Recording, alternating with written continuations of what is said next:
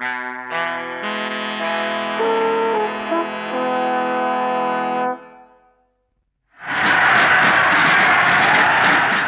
in the summer of 1940, welcomed victory beyond belief.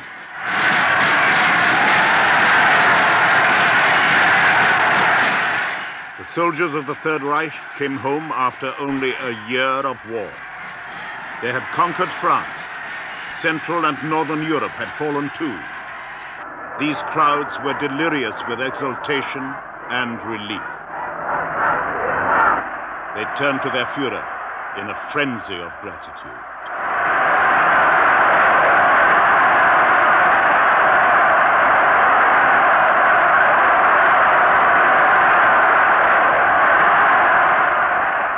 They had not fancied war, they had feared defeat. Now they thought the war was over, and they rejoiced.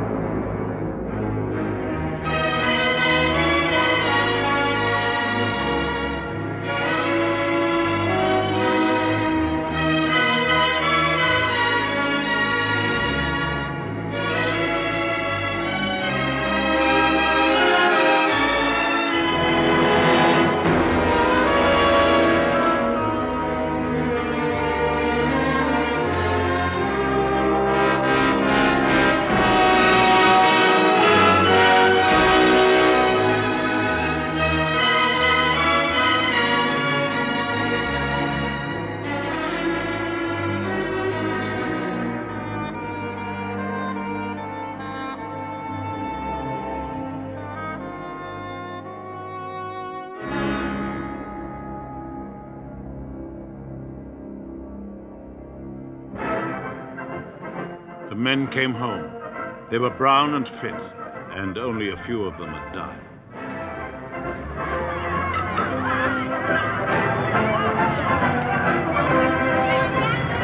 I just went shopping when somebody told me, Don't you hear the noise? And there I saw this part of the army coming back just near. So I bought a bowl of cherries and ran there. We all were so glad. We heard so much of the First World War with those dreadful battles and those many dead. I felt a sort of national pride. We ended the war so quick. In cities untouched by war, the German people had hardly begun to give up the ways of peace. There was rationing, even shortages, but to make up for it, the regime preached enjoyment, luxury. Rosamunde, schenk mir dein Herz und dein Ja. Rosamunde, frag doch mit dir die Mama. While the British had declared frivolous things immoral, the Nazis tried to show that luxury still flourished.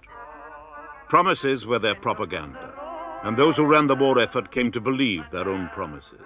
Only a few saw further. Just about August, it was ordered that uh, a lot of production was stopped and or minimized or uh, things like that. And there was a kind of a euphoria that the war was, so to say, over. I didn't believe in that at all. No, I thought I knew the British, and I had the opinion that they would see this thing through and that the United States will join war, and therefore every effort should be made to prepare for a long blockade. Hitler had no plans ready for a long struggle, no preparations for the total mobilization of all productive capacity. German industry had been geared to a blitzkrieg war. The regime still let the factories turn out peacetime goods. The workers, subjugated but not fully converted, watched the comings and goings of the Nazi princes without enthusiasm.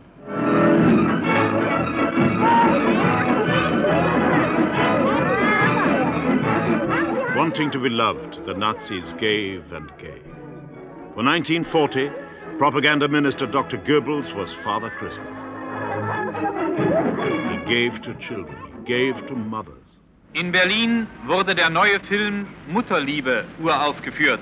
Auf Veranlassung von Reichsminister Dr. Goebbels lud die NSV 1200 Trägerinnen. Ladies with larger broods were invited to the film premiere of Mother Love, the regime's hymn to family and folk community. Weiter ohne Papa weiterkommen, gell?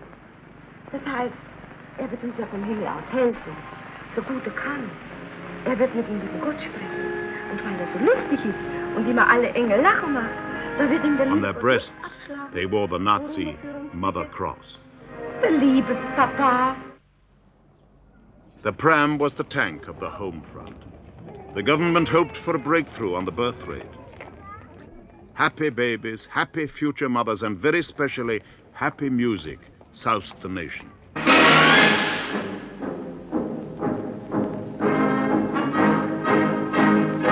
Big smile glued across the face of a people still often dubious and nervous was stretched even wider.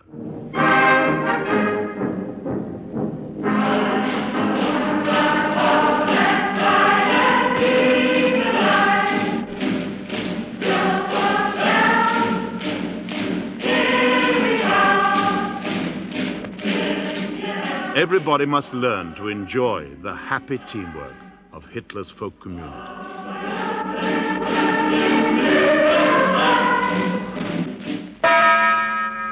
14 Uhr und eine Minute. Der Wehrmachtbericht. Radio was the instrument which the Nazis made their own from the beginning.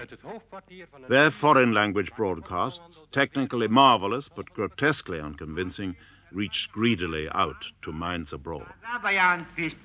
Today's official German war communique reads as follows. But listening to foreign radio was forbidden.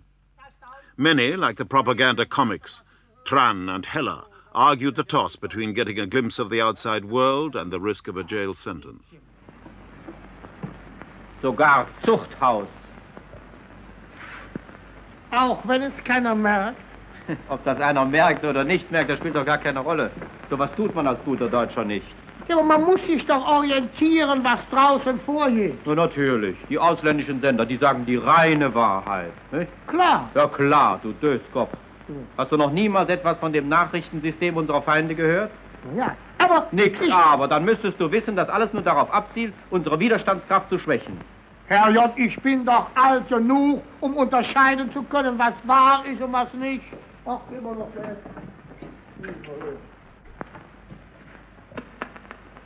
Wurde wegen Abhörens ausländischer Sender zu zweieinhalb Jahren Zuchthaus verurteilt. If we listened to foreign radio, which we always did, we turned it very low and um, we used to sit right up close against it. And I remember one particular moment when my son, uh, who was a little schoolboy, uh, told me that uh, he had a very funny story to tell me that his friend's mother also listened to the radio with her ear right up against it, the same as we did.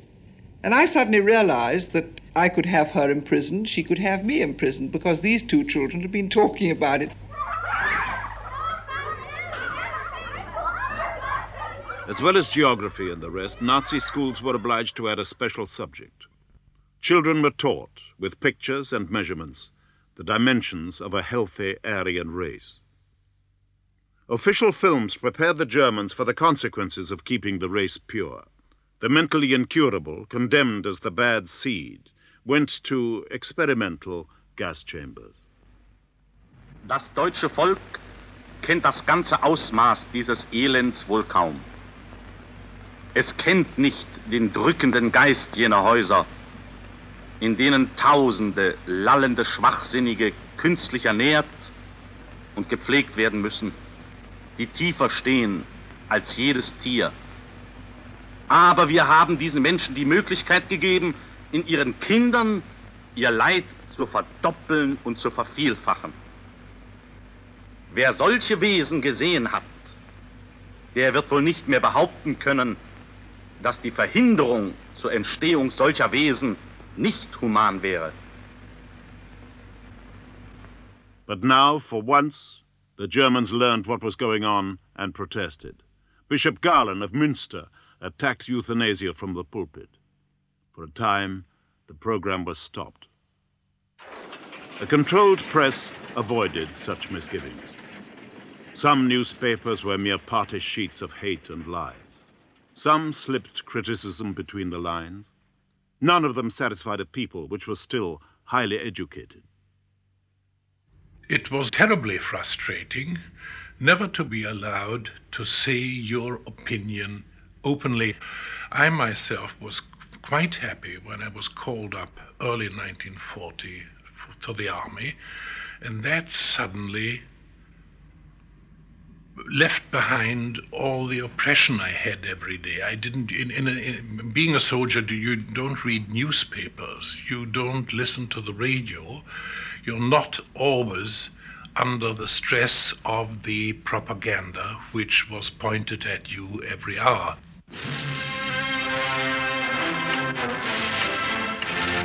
European war became World War in June 1941. The Nazi leaders had secretly resolved that the conquest of Russia must come. Reichsminister Dr. Goebbels verließ die Proklamation des Führers. Deutsches Volk, in diesem Augenblick vollzieht sich ein Aufmarsch, der den Ausdehnung For many, the attack on the Soviet Union brought fear and bewilderment. bisher gesehen hat. Of course, I had heard of uh, certain preparations, but uh, it was all uh, well hushed up, and uh, till the last moment, I didn't think that the war would come about. For a long war, Germany would need to have the South Russian oil fields for her own. Russia had delivered a million tons of oil the previous year under the Nazi Soviet pact, now flung away. As a matter of fact, we had the greatest trade agreements with them that we ever had, and they delivered promptly. And from an economic point of view, everything seemed to be in order. I personally had, uh, uh, through my men, negotiations with them of putting up a synthetic fiber mill in Russia, and the treaty was signed on the 15th of June 1941. And uh, the first 10 million marks in gold should be shipped on July 1st of 1941. Das waren die Soldaten, ja, die gehen richtig ran. The Germans drove eastwards over disintegrating Russian armies. Das war die Artillerie. Victory looked like a matter of weeks another blitzkrieg, and morale at home revived. Das waren die Soldaten, so was schafft ein Zivilist. Goering inspected what was now the German colony of Ukraine, intended to be a serf region of agriculture. Nazi experts on the Slavs hoped that this simple folk with simple customs would enjoy this prospect. Six months later, in the blinding snow before Moscow, the Germans were stopped. They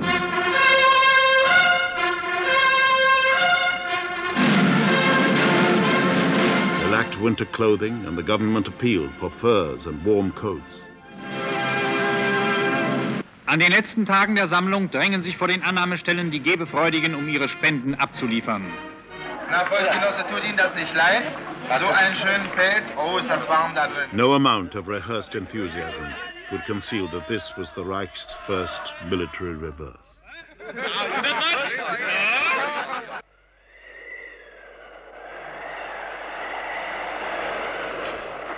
The Minister of Munitions and head of the war effort, Fritz Todt, flew to inspect the construction work on the Eastern Front.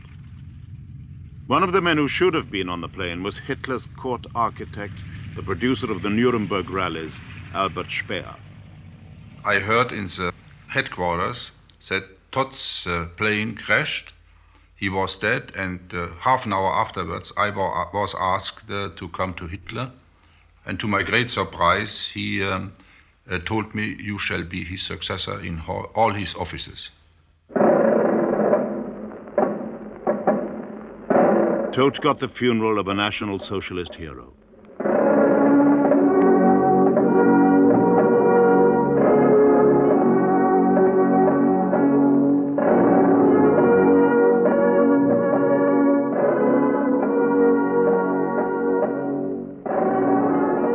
By now, nearly a quarter of a million Germans had been killed on the battlefronts, but Todt was the first of Hitler's close comrades to meet death in the war. Hitler was shaken.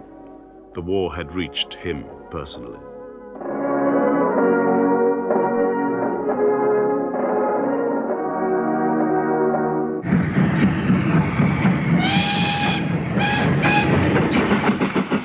Speer had already seen the chaotic, disconnected way that Nazi war industry worked. Transport, munitions, all had to be brought under a single control.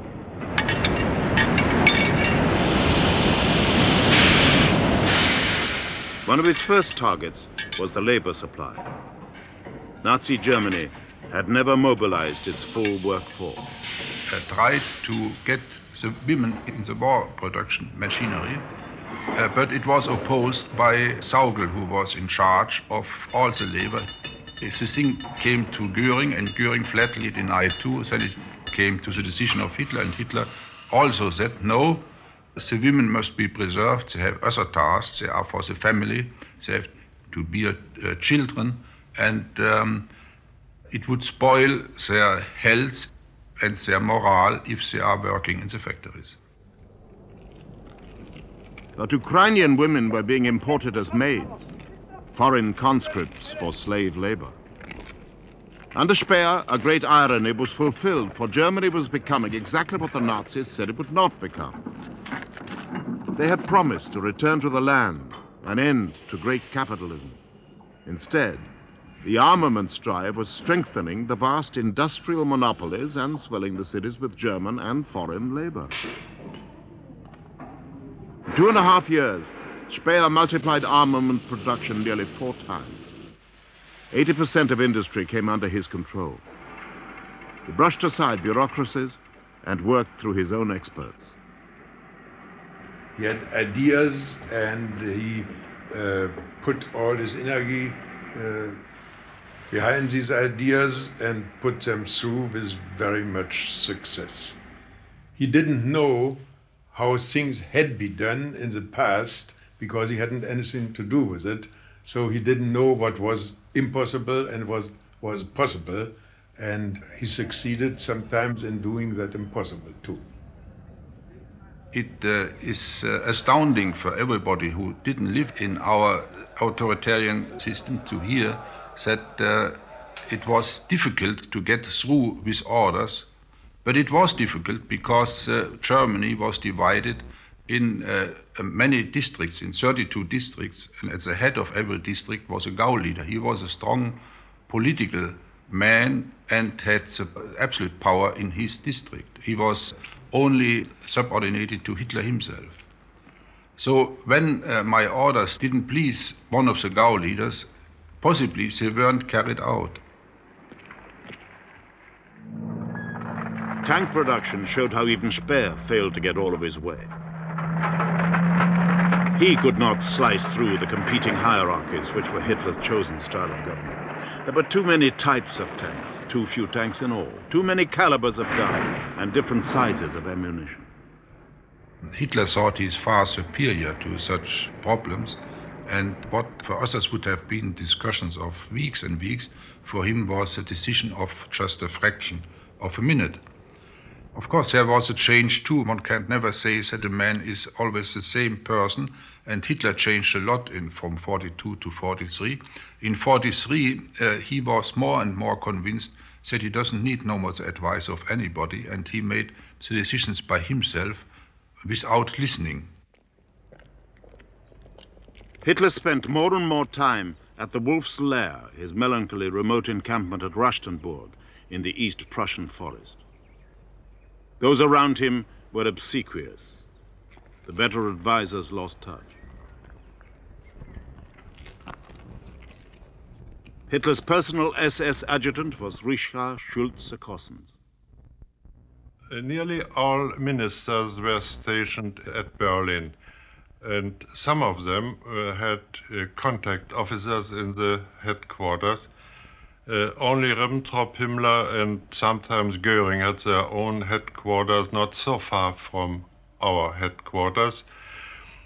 Speer was very often in the headquarters because his ministry was very important for the war. Only Bormann was always in the headquarters. There was the only direct contact to Hitler. Bormann, as his secretary, was the most powerful man, more powerful, I think, than Hitler, because when the power was divided, all those men who were in power had to go via him to Hitler, except me. I had uh, direct um, access to Hitler. There wasn't much cooperation. The cooperation was in the lower levels of the smaller technocrats. We didn't have anything like a cabinet. Ministers met, if at all, very seldom and didn't talk about very important matters, so was my impression. Uh, every ministry worked for itself and sometimes they got orders from Hitler, but very, very seldom. Foreign visitors like Mannerheim, the Finnish leader, could see that Hitler was living in a world of illusion. He still trusted the reassurances of Goering, head of the Luftwaffe. Goering, a few months later, claimed that his aircraft could supply the Eastern Front, even when a whole army was cut off at Stalingrad. Achtung, ich rufe noch einmal Stalingrad. Hier ist Stalingrad. Hier ist die Front von der Wolga. Achtung, die U-Boot-Fahrer im Atlantik. Christmas 1942. Seebootsstützpunkt am Atlantik. Achtung, Catania.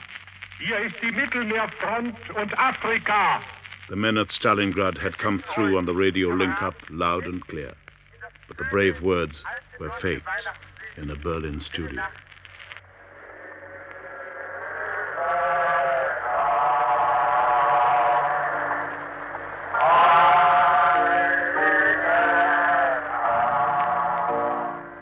The last time, the cathedral stood undamaged as the Christmas fair took place in Berlin. But Stalingrad was still cut off, and deep down the nation sensed what was to happen. 3. Februar. Das Oberkommando der Wehrmacht gibt bekannt. Der Kampf um Stalingrad ist zu Ende. The Battle of Stalingrad has come to an end. For once the radio spoke the truth, and with some dignity. 91,000 survivors surrendered. Only a few thousand ever saw Germany again. I was not long in the headquarters, uh, but I uh, felt very significant the atmosphere on this day. Um, all people were depressed, and Hitler himself was very uh, serious, and uh, he stared on his soup without saying any any word, and and um, he was he was very depressed.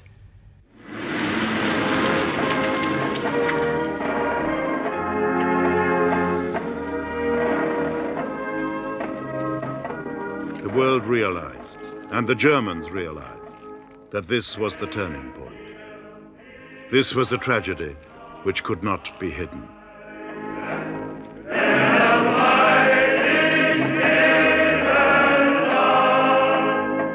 And Stalingrad did not come alone. A week before the city fell, the Germans learned that the Allies would demand unconditional surrender.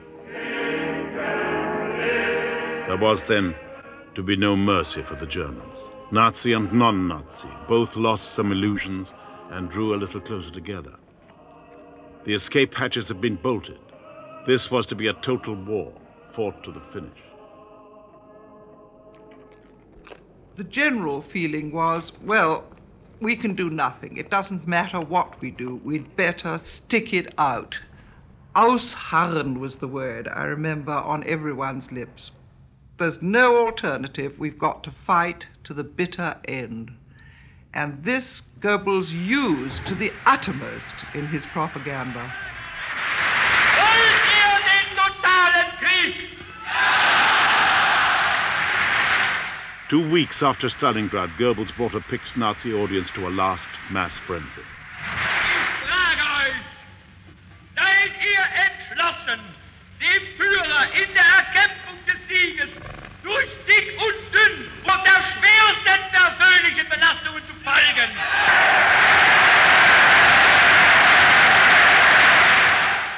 It was his own supreme moment. It was the proclaiming of total war and the invoking of the nation's hidden power.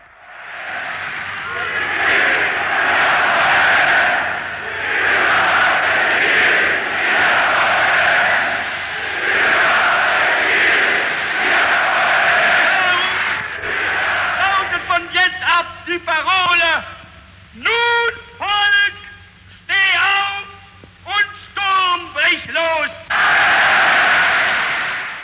Folk, rise up and storm break loose. They were the words of 1812, of the national uprising against Napoleon. They were empty now.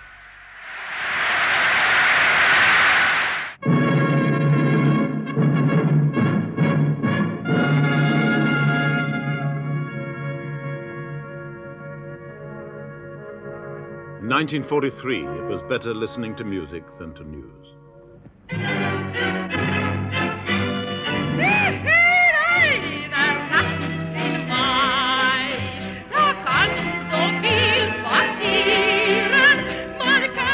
It was total war and retreat on all fronts. Total war meant that even German women must work.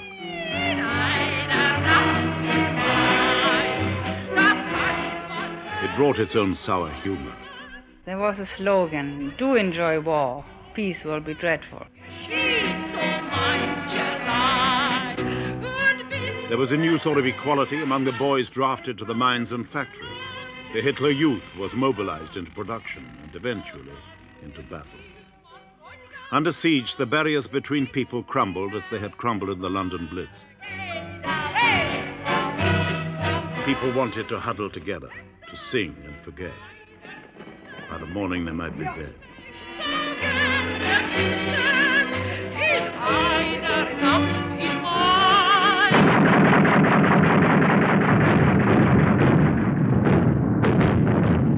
By day, the American bomber fleets ranged over the Reich. At night came the British. In the shelters, the people waited for dawn and wondered if their cities would still be there. When we had the first bombs, we were shocked.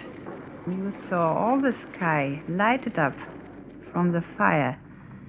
It was an enormous and dreadful sight. We were very angry when we saw that so many residential areas were destroyed. There were so few men left that everybody who had the strength was firefighting.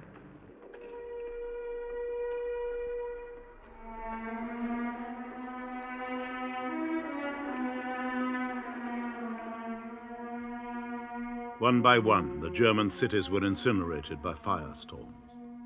Ten days' raids on Hamburg left 40,000 dead.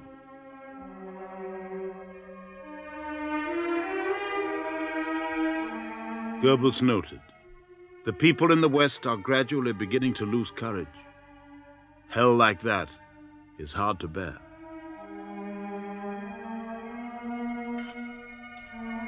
I think that the bombing hadn't the effect one would have thought. It had the effect of bringing people together.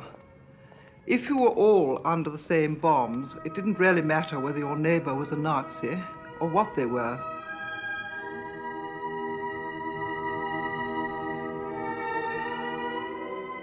To avoid seeing the ruins, Hitler's rare visits to Berlin were made by night. And yet, banners were ordered for his birthday. They read, Our walls have broken, but not our hearts. Hitler lost more and more his sense of reality. He never, never had the will. He must see with his own eyes what the war was. We had no information from outside And so I had the, the feeling to live in a, in a monastery, in a, um, a concentration camp. Uh, one of the generals once said, I feel like a concentration camp. We are, we are in, included and um, we, are, we all use the same phrases. We are all thinking the same. We are all hearing the same. We are all leaded in our thoughts and our feelings by Hitler. We all were playing on a play, each his role, and he was the only one who knew the script. He made us all do our play and speak our text. Nobody else knew how it would end.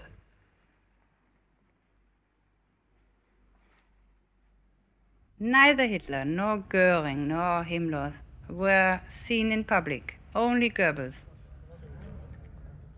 Whenever there was a very heavy bombing, Goebbels stood there on the marketplace and held his speeches and tried to say ausharren and uh, I personally had uh, respect because there was a sort of inspiring. You were sort of in a trance.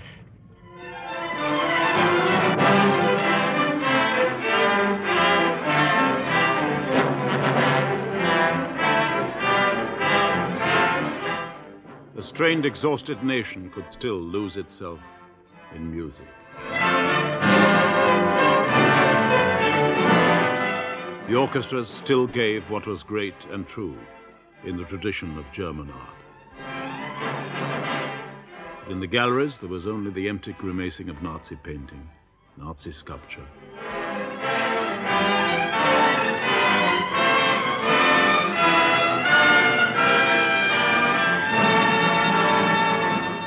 True Aryan models simpered and scowled, their features carefully designed to portray the victorious Nordic race.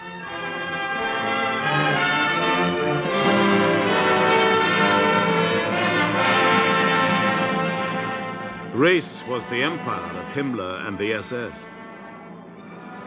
But now the SS was itself an empire. Himmler, the ex-chicken farmer, ruled the death camps and the concentration camps.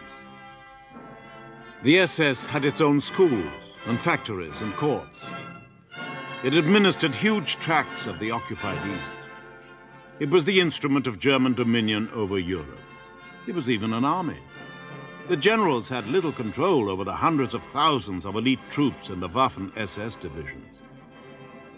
Into the SS training schools there were drawn Aryan-looking volunteers from the occupied countries, for the SS state was to be not merely German, but European.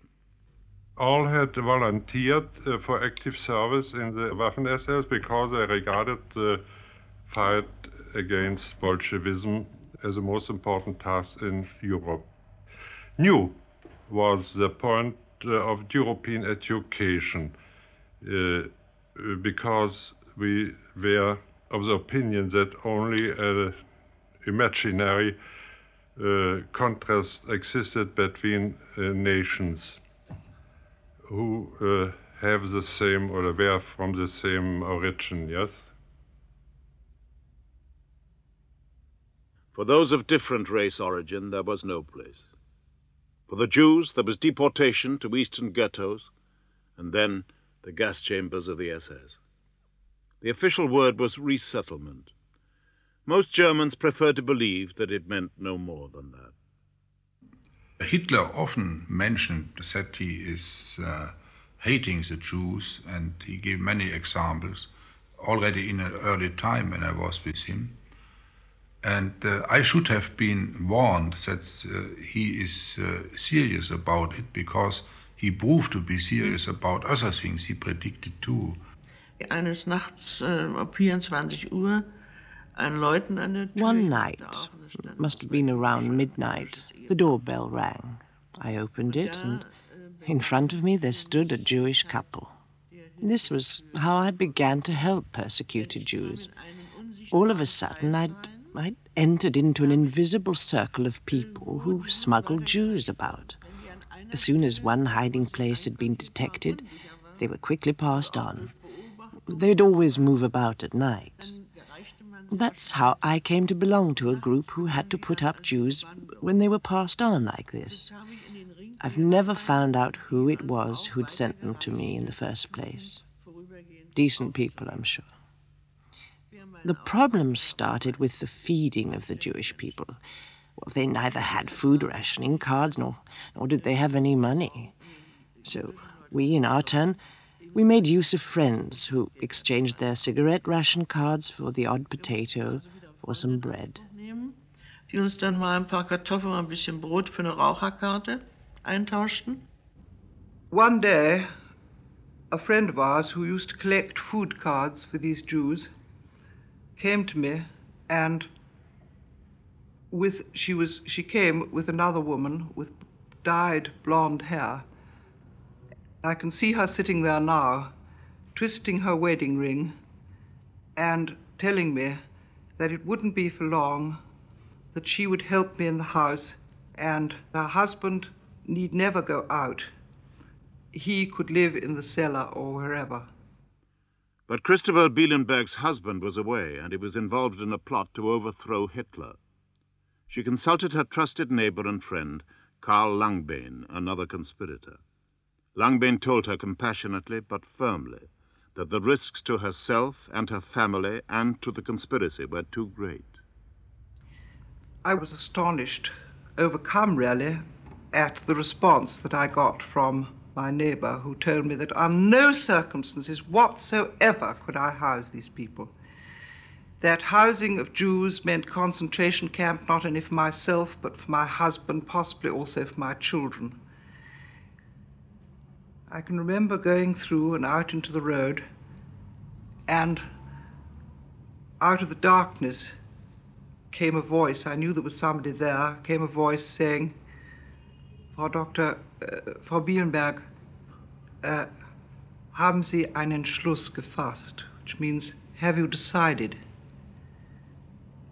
And I simply couldn't say no. I just said, well, I can't for longer than two days. And I let him into the cellar.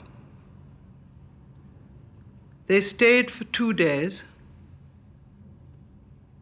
and after, on the second day, or rather in the evening, they must have left, because in the morning she was gone the cellar was empty. The bed, little bed I'd put up, all tidily arranged, and they had gone. I know, knew later that they were caught buying a ticket at a railway station and were transported to Auschwitz. And why I say this is the most painful and terrible story for me to have to tell was because after they left, I realized that Hitler had turned me into a murderer. One day uh, in 44, uh, Gauleiter Hanke uh, came in my office and told me that um, he was visiting a concentration camp in Upper Silesia and warned me never to go in a concentration camp there because horrible things would happen. This, together with other hints I got, uh, should have um, uh, made um, should have made my decision to go to Hitler immediately or to Himmler and to ask, ask them what is going on and uh, to uh, uh, take my own steps. But I didn't do it, and not doing it was, so I think nowadays, the biggest fault in my life. We felt that people should know what was going on. And maybe typical is this little experience which I had one day standing in the line for vegetables or something like that. I told my neighbors standing around me that now they start to kill the Jews in the concentration camps, that it is not true that they only are brought there and can live there as they live here, as it was told them. They are killed and they even make soap out of them. I know that. And they said, uh, Frau Bonhoeffer, if you don't stop telling such horror stories, you will end in a concentration camp too, and nobody of us can help you. It's not true what you tell, and you shouldn't believe these things. You have them from the foreign uh, broadcasts or so, and they tell these things to make enemies against Germany. They say, no, that's not from broadcasters. That's, I know that directly from first hand. You can be sure it is that way. And coming home, I told that my husband in the evening, and he was not at all applauding to me. In the very contrary, he said, My dear, sorry to say, but you are absolutely idiotic what you are doing. Please understand, a dictatorship is like a snake. If you put your foot on its tail, as you do it, it will just bite you, and nobody will be helped. You have to strike the head. Only the commanders of the army could strike effectively at the head. Others had struck bravely at the tail and perished. In Munich, a few students round the Scholl brother and sister had protested with leaflets and been slaughtered. In Berlin, a communist spy team led by Harro Schulze Boysen and the Harnacks had been crushed. Communists, socialists, Christians, anonymous men and women defied the dictator in tiny groups. 150,000 Germans suffered prison or worse for political resistance. The plot against the snake's head was a federation of plots. There were conservatives like Goerdeler, aristocrats like Moltke, churchmen like Bonhoeffer, diplomats like Trott. Faced with defeat, many staff officers joined in. All were slow to accept that to strike at the head demanded the physical murder of Hitler. But in 1944, there appeared a man for action, Colonel Count Claus von Stauffenberg. All the difference was brought in or caused when Stauffenberg came to Berlin. He had lost his left eye, his left hand, of three fingers of his left hand, and his right hand altogether. Originally, he was only the planner of the coup d'etat, but he had to report to Hitler's headquarters and to attend conferences there. And this enabled him to get really near to Hitler and then to make an attempt, which he did on July 2044. Suddenly, there was a very alarming bang. We heard voices crying for a doctor, and we saw some generals with blood stained uniforms. Then came one of the adjutants and said there was a bomb explosion, but the Fuhrer is not hurt, he's still alive. We uh, went to Hitler's bunker and we met him. It maybe it was an hour after this ex- explosion.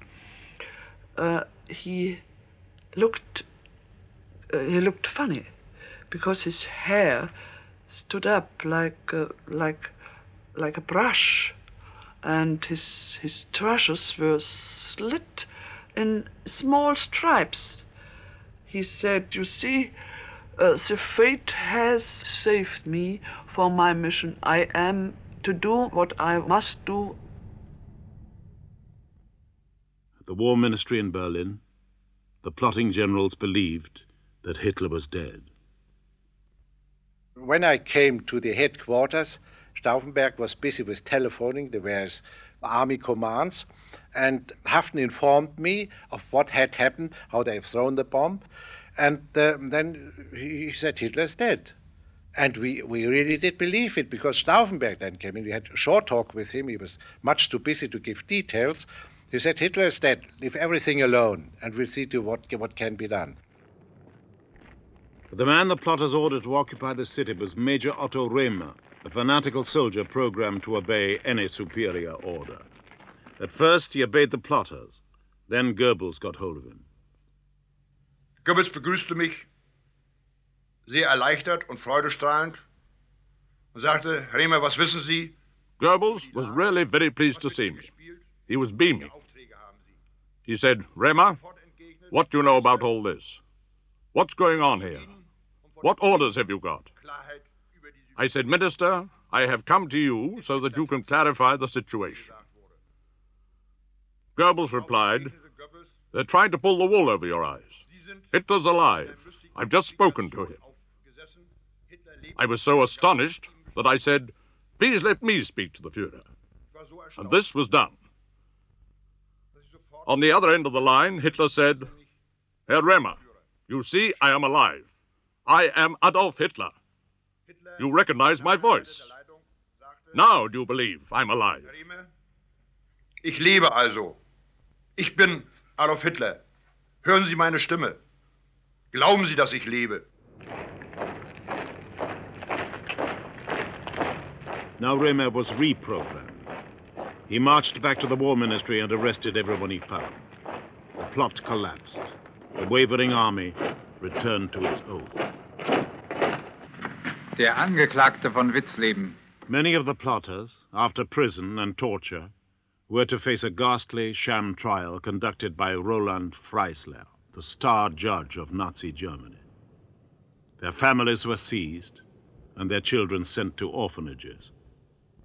The luckier conspirators, among them Stauffenberg, had been shot out of hand in the War Ministry courtyard. Some attempted to explain their motives in court.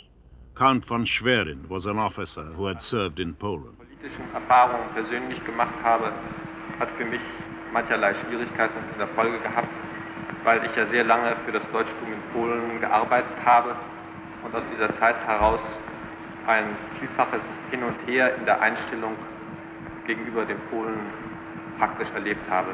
Hm. Das ist eine Aber war es hin und her, dass sie dem Nationalsozialismus zulegen. Gedacht an die vielen Morde. Morde? Sie sind ja ein schäbiger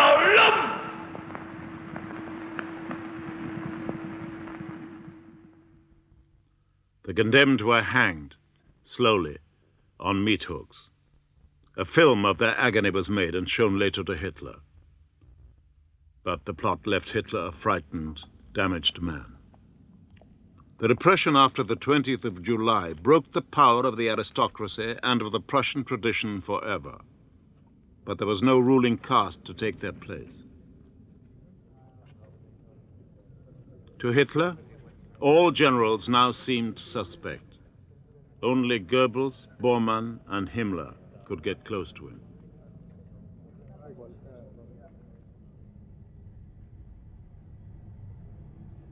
Slowly but steadily, he became weak. The doctors went in and out, and he became totally apathetic, non interested in everything, and it was a, a very critical uh, situation on the West Front and on the East Front, too. And some days it was like Hitler does, didn't exist. He was deteriorating, uh, certainly in his health, but I wouldn't go so far to say that he was no more responsible of what he was doing. Uh, in some way, he was. Uh, I have the experience of a prisoner of 20 years. He was, some, in some way, he was behaving like a prisoner.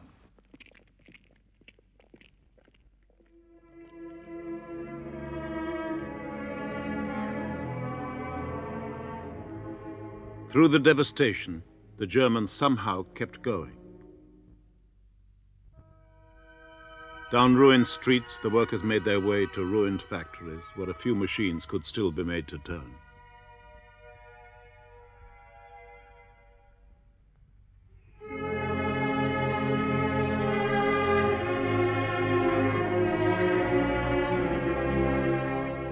Life retreated to the cellars. People learned that eight bombs fell in a row and then you were safe. They learned to live a day at a time.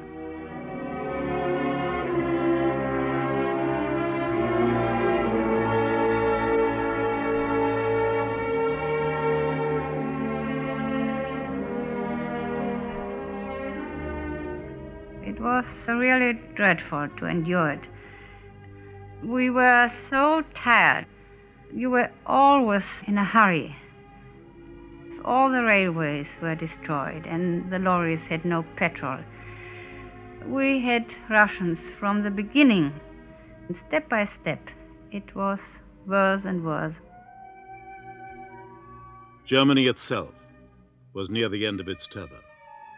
Seven million foreign forced laborers were not enough.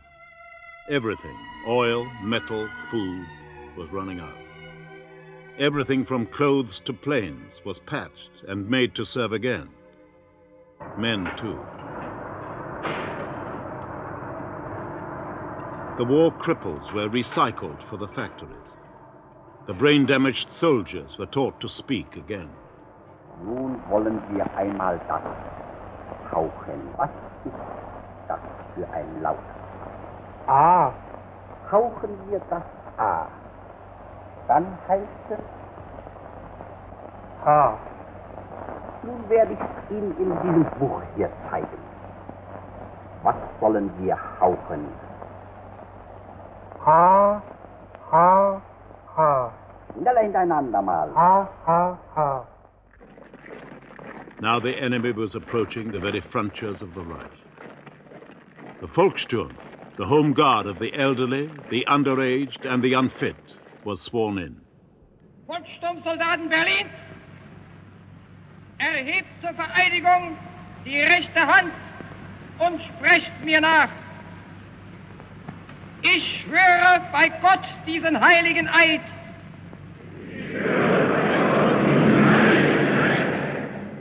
Dass ich dem Führer des Großdeutschen Reiches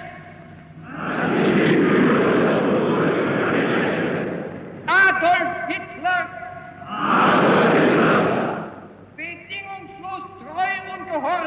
sein werde. Männer des Berliner Volkssturms, ihr habt soeben They listened with closed faces to oratory from Goebbels about fighting to the bitter end. Millionen wehrbereiter und wehrentschlossener Männer verfügt,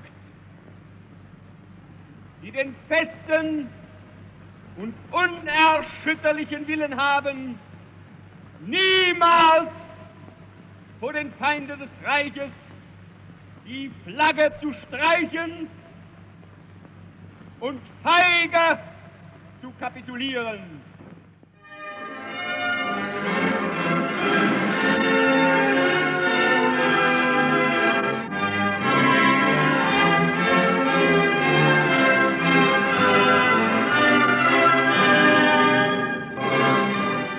The Volkssturm trudged out through that same Brandenburg gate, which had seen the soldiers march back from Paris four years before.